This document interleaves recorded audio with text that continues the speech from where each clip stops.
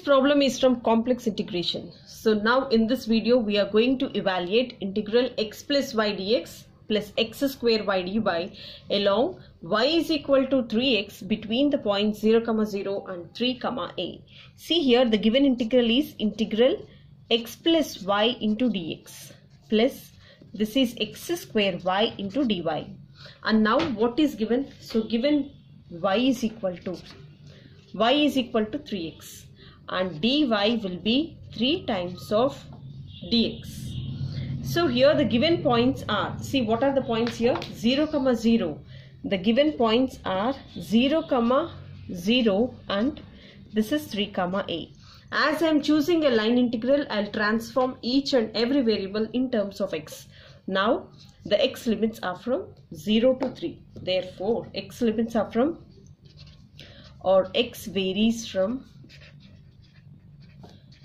0 to 3 now our given integral will become see here what is our integral? So this is nothing but this is x plus y dx plus x square y dy. So in this in place of y i'm going to write 3x see here so this will be x plus. In place of y i'm writing 3x and again this is dx x square. In place of y again I am writing 3x and in place of dy I am writing 3 into dx between the limits. X varies from 0 to 3 therefore our x limits are from this is 0 and this value is 3 now see after calculation so this will be x is equal to 0 to 3 this is x plus 3x and if I multiply this one this will be x square into 3 3 is 9 so this is 9x into dx. So which is equal to integral 0 to 3 this is x plus 3x plus 9x cube into dx.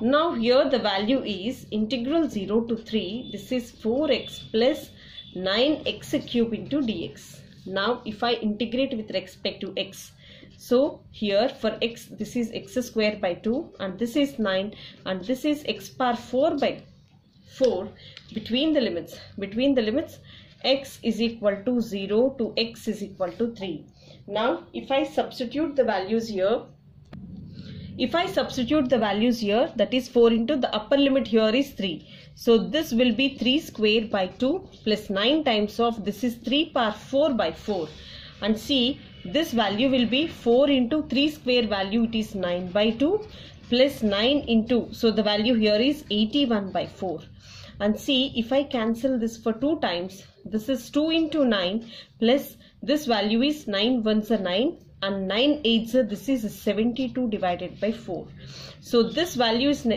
nothing but 18 plus 7 29 by 4 if I take 4 as LCM if I take 4 as LCM then see this will be 18 into 4 plus 729 so 18 4 sir this is 96 this value is 76 see here 4 8 is 32 and 76 plus 729 by 4 so if I add up these values so this is 32 so this value is 32 so 9 10 11 10 8 by 4 the value here is 8 not 1 by 4 see here this is 2 see let me explain you once again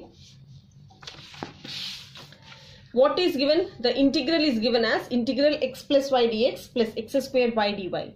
So now i have to transform this line integral in terms of x or y or t. So here it's very clear that y is given as 3x therefore dy is equal to 3 into dx.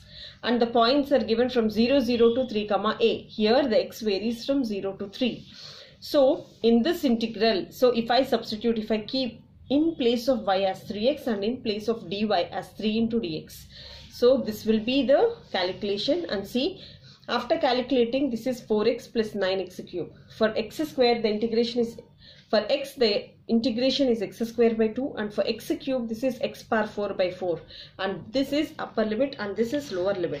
So after substituting the upper limit then in place of uh, x as 3 and see this is the calculation and this is how we have to solve and the answer the final answer here is 8 not 1 by 4 therefore our integral see here let me show you.